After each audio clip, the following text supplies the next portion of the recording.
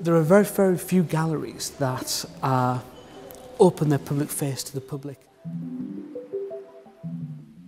Tension cables hold it down, pull it down and keep it taut. Uh, a lot of people wonder what they're there for and it's that, that sole reason to keep the roof uh, in its intended position which is on top of the building, not over on the landscape park. Those ellipses actually form circles. Principle here was the idea of a pro projectile uh, bullet and the path it took as it passed through surfaces. And their view is it, it almost creates like a mosaic really. It's a very simple pin detail that's uh, secured into the back of those to hold them all in place. So it's never going to fall down, but it is quite a, uh, a structural feat, I think, to achieve that. The handrail is a very interesting feature because the handrail has to be designed so that somebody with limited dexterity can use it. And they managed to achieve that and then create this nice flowing piece of oak that ran all the way up the stairs with these stainless steel balusters. You look through the glass facade there,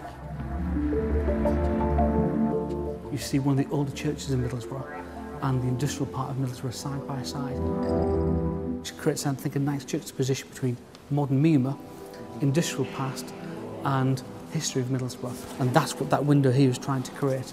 A viewing gallery or a viewing window back to the past of Middlesbrough, which is, I think, a nice gesture on the part of Mima to recognise uh, where Middlesbrough comes from. The difference in the lighting levels, this is a lot warmer. Here, these lighting uh, elements are called stretch fabric, so there's a huge light source behind there.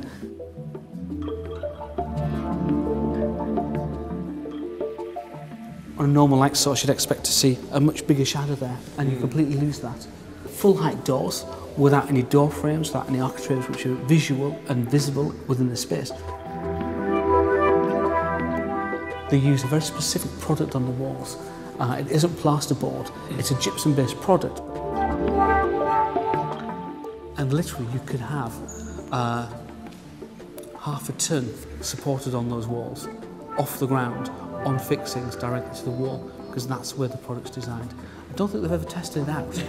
Uh, I know they have in other galleries across the country, but they haven't yet. Geoffrey Walsdale was quite keen that there weren't any skirting boards or architraves within the gallery space. And the idea being that any distraction to the artwork is distraction to the viewer.